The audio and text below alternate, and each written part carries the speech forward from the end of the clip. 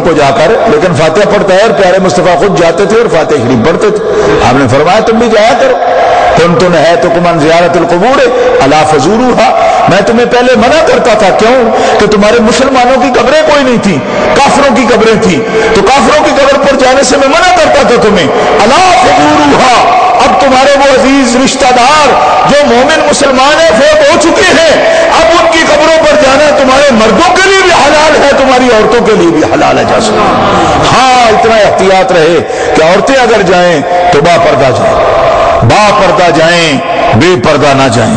और मर्द, उनको जाने की इजाज़त है। औरतों को भी जाने की इजाज़त है बेपर्दा ना जाए। बस इतना कर लेंगे एहतमाम करें। बात समझ आ रही है? अब जनाब आप लोगों को बड़े धोखे लगते हैं, उल्टा हमें मशवरे देते शाह जी थोड़ा थोड़ा रखा करो, वो इंज दे लीजिए। मैं आके ये अपने मशवरे अपने पास रखा करो। बेअदबी और गुस्ताखी ना करनी होती तो अलग फिरका बनाने की उनको ज़रूरत क्या थी? क्या हम दाड़ियाँ नहीं रखते? दाड़ियों के लिए वाबियत बनी है। क्या हम मस्जिदें नहीं बनाते? क्या मस्जिदें बनाने के लिए वाबियत बनी? वाबियत सिर्फ़ पाकों की गुस्ताखी करने के लिए बनी और उसका मकसद ही कोई नहीं। क्या किया वाबियों ने दुनिया में आके? क्या तोहीद का डंका पीटा है भाई? बताओ मुझे, क्या अमेरिका का मुकाबला करते हैं वो? जी? क्या दुनिया में रूस का मुकाबला करते हैं वो? कम्युनिज्म को उन्होंने रोका वो तो चमचे जितने बड़े वादियों सब चमचे अमेरिका के। क्या दीन की खिदमत की उन्होंने? माँ सिवाय कब्रस्तान गिराने की। रसूल खुदा की बेटी की कबर को बिल्डोज किया है, हज़रत फातमा तुजारा की कबर को। इस तरह को काफिर भी नहीं करता। काफिर भी कब्रों के साथ ये सलूक नहीं करते जो वाबिया ने किया है। जाके देखो मदीना मुनवरा में खून क्या असर होता है इंसान। इंसान ऐसे ही खून क्या असर होता है जो कुछ उन्होंने किया है। खानदान नबूत की कब्रें ईंट से ईंट बजा दी। हजूर के बेटे की कब्र पर बिल्डोजर चलाया उन्होंने। हजूर की सब अजवाज मुतहरात की कब्रों को फीती फीती कर दिया उन्होंने। हज़रत आयशा सिद्दीका की कब्र को भी। हजूर के दामाद हज़रत उस्मान गनी की कब्र को बिल्डोजर उस पर चला दिया है। ये दीन है। अगर ये दीन है तो फिर मुझे बताओ कि हजूर की कब्र अनवर और गुंबद खदरा क्यों मौजूद है? गुंबद खदरा बोल बोल के बता रहा है कि अगर कब्रें बनाना या गुंबद बनाना शिरक होता तो प्यारे रसूल का गुंबद क्यों मौजूद होता? प्यारे रसूल का गुंबद क्यों मौजूद होता ये गुंबद बता रहा है कि जिनसे दीन निकला और जिन्होंने दीन बताया और जिनकी ज़िंदगी उसमें हसना है, अगर गुंबद बनाना, या कब्र की इज़्ज़त करना, या कब्र का निशान रखना, ये हराम होता, या बिदात सैया होता तो रसूलुल्लाह का कभी गुंबद ना होता। गुंबद खजरा का वजूद खुद दलील है औलिया अल्लाह की कब्रों को अच्छा बनाने की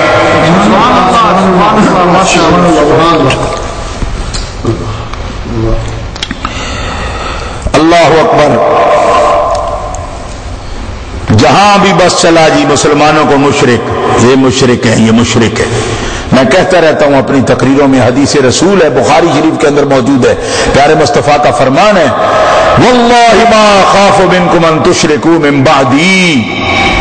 मेरे उम्मतियों, मैं मोहम्मद को अल्लाह की कसम, मेरे रब ने मुझसे वादा कर लिया, प्यारे रसूल, तेरी कभी मुशरक नहीं हो सकती। बुखारी शरीफ उठा के देखो, किताब तयम में यह हदीस मौजूद है। जब हजूर को कोई शक नहीं, कोई इस पर मुश्किल नहीं आपके लिए, आप कसम उठा के कह रहे हैं कि मसला तय हो चुका, मेरी उम्मत मुशरक नहीं होती। तो आप कौन है? हर वक्त धड़का लगा हुए थे मुशरक हो गए मुशरक हो गए। मैं तू है, कौन है? कौन है? सड़क ही लगना तू। कहा मैं मौलवी हूँ। तो मैं कहा, मौलवी हूँ तो अपने घर जा। हम कोई जंगल में बैठे कुरान सुनत जानने वाले हमारे पास मौजूद है, तुम जाओ अपने घर ले जाओ। जो हमारे मसूल हैं। कल को जिनको क्यामत के दिन हमारा जवाब देना है, जो क्यामत के दिन हमारे इस दुनिया में भी, क्यामत में भी हमारे कायद होंगे, हम जिनके जिम्मे हैं कोई नहीं समझ आई आप। हम जिनके जिम्मे हैं जिनका हम इज़्ज़त है रेवर है जिनकी हम भेड़े हैं जो हमारे आका है मालिक है वो मुतमैन है तो तुम कौन हो मुतमैन ना होने वाले? तुम हमारे लगते क्या हो? अपना रिश्ता तो बताना पहले। क्या रिश्ता है तेरा और हमारा? क्या लगता है तू हमारा? बता ना कोई ताल्लुक होता है तो तब बंदे दावे से बात करते हैं ना। तू तेरा क्या हमारे साथ ताल्लुक है भाई? दीन का ताल्लुक तो प्यारे मुस्तफ़ा से होना था। और बेईमान जब तू उन्हीं का वफादार नहीं है तो हमारा लगता क्या है? तू हमारा क्या लगता है? वो जहन्नुम में गया जो उनसे मुस्तनी हुआ। जब तू उनसे बेपरवाह हुआ, तू जहन्नमी है। तुझसे हमारा क्या काम? और तेरा हमसे क्या काम? वो जहन्नुम में गया, जो उनसे मुस्तनी हुआ है खलीलुल्लाह को, हाजत रसूलुल्लाह की। आप कौन है जी? अरे इनो मिनो मैनू विच गिनो मैं आप ही जुम्मा जज नाल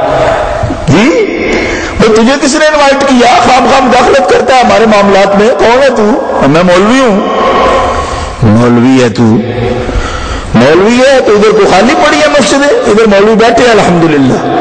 पैरे पे बैठे हुए हैं सरकार के गुलाम बैठे हैं। अल्लाह अकबर। अगर इनके तरीके पर चला जाए तो बुजुर्गान दीन की हरमत इज़्ज़त और अदब तकरीम और मुसलमानों के साथ अखवत मोहब्बत की सुन्नतें उठ जाती हैं। प्यारे मुस्तफ़ा इस्लाम ने इसकी ताकीद फरमाई है। और हज़रत सदरुल फाजिल फरमाते हैं आसारा हम की तफसीर में यह भी मनकूल है कि पाक लोग नमाजें पढ़ने वाले जिन कदमों से चलकर मस्जिद की तरफ़ आते हैं, अल्लाह ताला उनके कदमों के आसार को भी क्यामत तक महफूज फरमा देता है। वो भी लिख देता है कि कदम ताकि कल को उसका सवाब उसके सामने आ जाए। अल्लाह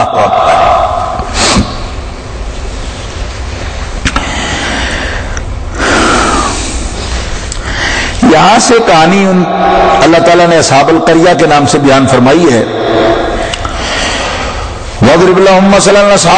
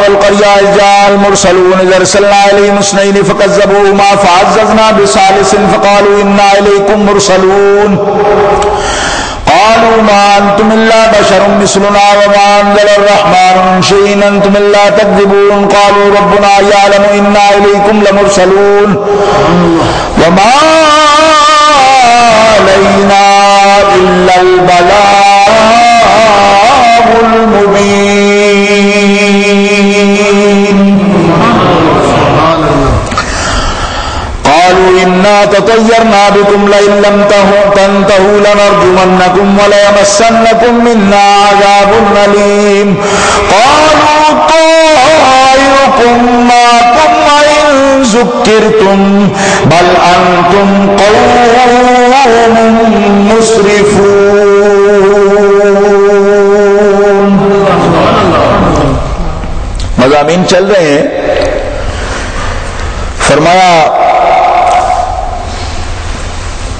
प्यारे हबीब, इनसे निशानियाँ बयान करो। उस शहर वालों की, जब उनके पास मेरे भेजे हुए आए, वो कितने थे?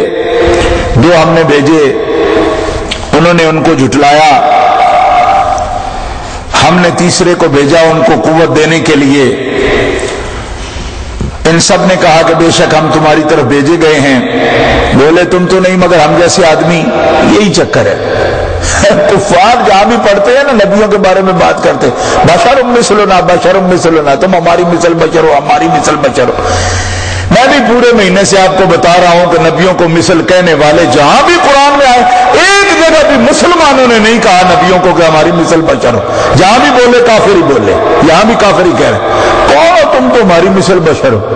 ये नबियों को अपनी मिसल बशर कहने वाली बीमारी मुसलमानों की नहीं है किन की है ये मैं कुरान शरीफ पढ़ रहा हूँ, आप तस्दीक करने में कोई दिक्कत महसूस कर रहे हैं? पढ़ लें आके नबियों को अपनी मिसल बशर कहने वाली बीमारी किन की है? हाँ। काफिरों की बीमारी है, मुसलमानों की नहीं है।